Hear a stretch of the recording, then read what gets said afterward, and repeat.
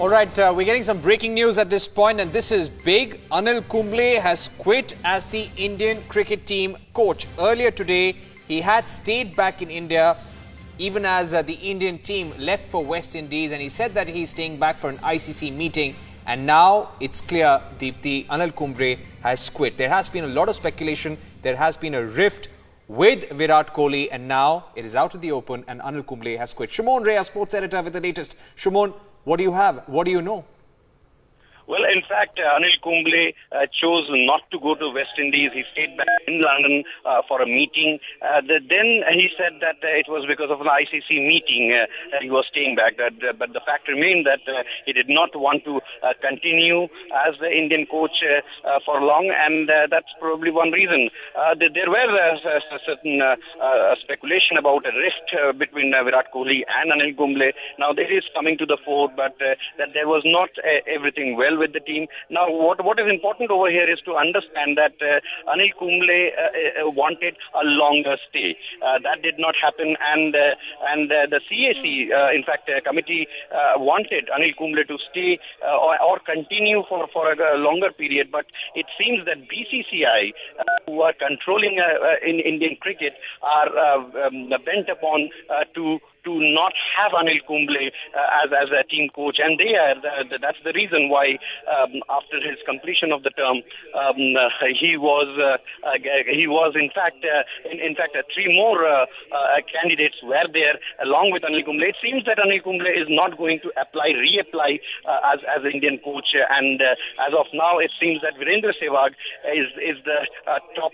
uh, uh, uh, he has, he is leading leading the run for for the next Indian coach along with Tom Moody. But as of now, it's a, it's a serious serious decision that Anil Kumble has taken not to first go with the West Indies team mm, with, with the Indian team to West Indies. He stays back in London, and now um, the, the news that is coming from London that he has officially quit. It means that uh, Anil Kumble will not be serving Indian team. He has declined to be the coach for for India in the West Indies too, and uh, that means that the Indian team will have will will see a new coach. Will that be uh, will that be um, Virendra Sehwag or Tom Moody, or for that matter, a third coach? That that we will only time will tell. But, as of now, know, it seems that th this is a big crisis then that perhaps could be hitting the Indian team. Also, you know, there were reports indicating that Virat Kohli and Anil Kumble could be talking to bury the hatchet, but it doesn't seem like that happened at all.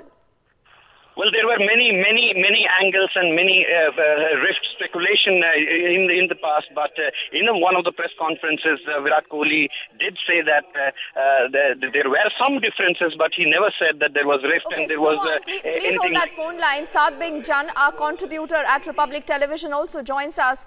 Saad, are you surprised? Are you dejected, or you actually saw this coming? No, I'm not surprised at all, and I'm not dejected at all because I've always believed that uh, any cricketer that becomes a politician and wants to head the politics of a state automatically loses out. And I, I think they lose out a lot because the first thing they lose is the respect that they get from their fellow players. And uh, you can never come back and then try to get uh, earn the respect of fellow players in the dressing room. That doesn't happen because once they know that you've been compromised as the secretary of a state or as the president of a state, and you know um, you've become part of the politics of the game, then then the players lose respect for you. And you know that's the that's the bottom truth. And when Kumble came into the dressing room, back came back in again, had he not been part of the political circle of Indian cricket, he would have had incredible following and respect. But because he came back from a very compromised sort of setup where the BCCI and state associations themselves were taking a hit, I think he found that his position and his respect was just not there in the dressing room. And it was a matter of time before he would leave, and uh, and he's left, and I'm I'm not surprised, and uh, and, uh, and you know there's nothing more I can say.